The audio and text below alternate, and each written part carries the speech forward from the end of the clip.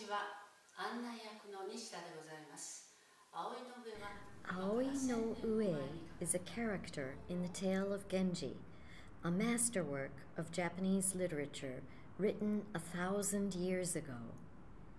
Aoi no Ue is the wife of the hero, Hikaru Genji, and the object of the jealousy of Rokujo Miyasu Dokoro, Genji's lover, in a royal love triangle. The curse of the lover kills Aoi, the wife. Now we see this as a death by illness, but the play is telling us that jealousy can actually kill. Now let's watch a bit of this performance.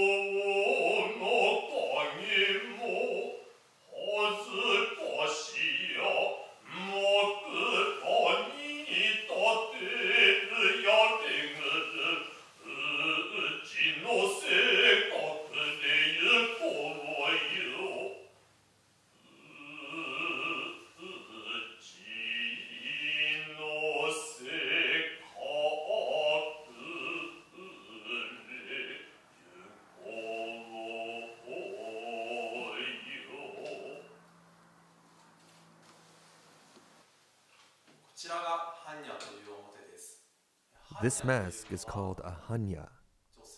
A hannya represents the image of a woman who has become a demon. It is the face of a woman with conflicts within her heart. Elements such as inner pain, sadness, and jealousy are contained within this mask. As she grows horns and her eyes and mouth turn to a gold color, one wonders what part of the mask represents the sadness of a human being. Such is the deeply complicated nature of this mask. Please, come and see this mask perform on stage.